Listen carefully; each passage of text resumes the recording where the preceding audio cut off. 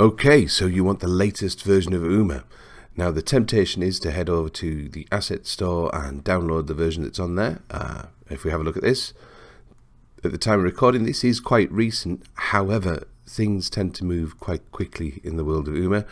Lots of fixes, additions, uh, improvements get done all the time and we only tend to see these releases every six months to a year.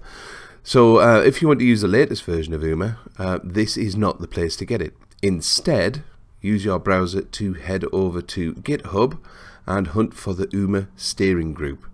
Here you will find the working repository of UMA. So if we have a look in here, there's a lot of things in here. We'll have a look at those another time. But what we're after is this UMA repository here. Now, um, there are several branches.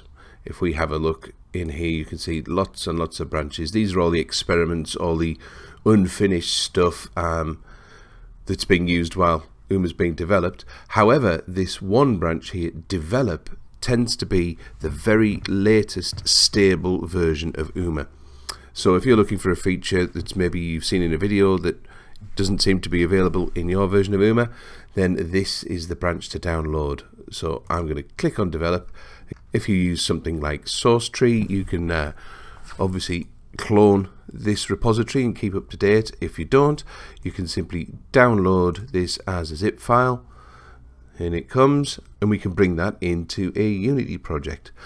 Just to be absolutely sure you understand what's going on, I'm going to do that. So let's get this downloaded and we'll have a look at that in Unity.